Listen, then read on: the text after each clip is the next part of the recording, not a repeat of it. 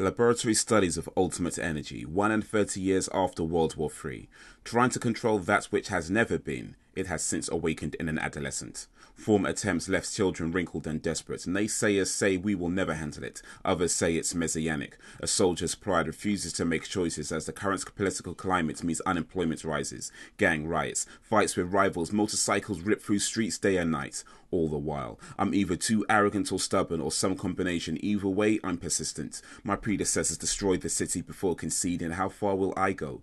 I've turned the young into the old, caused the re-emergence of the original transcendental failed experimental test subjects buried beneath a stadium. He consumed everything. A scared boy pleads his friend to help him. It's too late. We already tore this kid apart, left him damaged and scarred. He never stood a chance. Insecure from the start, then he thinks he's a god.